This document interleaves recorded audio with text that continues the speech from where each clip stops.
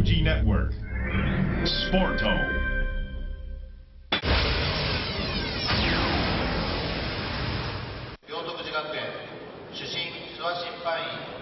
同僚同士の一戦になりました。男子60キロ級決勝戦です。赤小川武史。そして白い帯が佐々木慎次郎。2人とも両徳寺学園職という対戦になりました。60キロ級決勝ですお互いに技師という、まあ、技のキレを持っている2人です。こちらが小川です。そしてこちらが佐々木。さあ細川さん、この2人の、まあ、頂上決戦ということになりましたけれども、60キロ級26歳と25歳。楽しみな2人ですよね。そうですね。はい。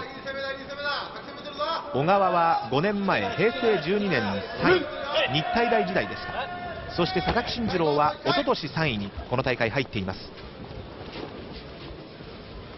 さあそのように歴史が長くこう2人この第一戦で活躍している選手です。これは素早い佐々木の動きです。第一人者の野村、うん、そしてエグサに続くこの両者、ねそうですね。どちらかと言いますと、小川はこうじっくり組んでうん。背負い投げ。うん、えー佐々木の方はですね、早く組んで袖釣り背負い投げ。なるほど。あるいは内股。うん。というところですね。う。ん。さあ組み手争いです。うん大外。その返していった小川。待てがかかりました。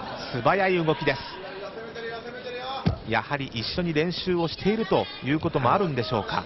お互いの手の内を知っているんでしょう。素早い動きが行われています。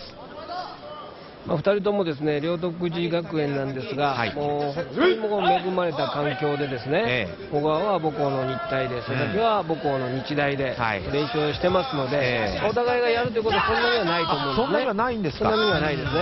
はい。ただ警視庁に出稽古行った時に、ええ。まあ、2人が組み合ったりとやりますよね。はい、そうええいうのはありますけども、まあ、こういう恵まれた社会人がやっぱりこうどんどん出てきてですね日本柔道を引っ張っていってほしいなと思いますね。はい。さあ2人ともこう充実した時期を迎えている。手を取った。しかしここは待てです。今うまかったですね、え。はい、十字固めのスペシャリストを思わせるような入り方でした入り方でしたね、そのまま決まればというところでした。両者ともに優勝すれば当然初優勝ということになります。叩きつけた一本。叩きつけました返しました。日本はい。勝ったのは佐々木慎次郎25歳。一昨年の3位に続いてこの平成17年度60キロ級の頂点に立ちましたよっしゃという声が今響き渡りました。そして小川が1回立ち上がったんですが崩れ落ちた。それほど強烈に細川さん。そうですね。これは技を受けたんですはい。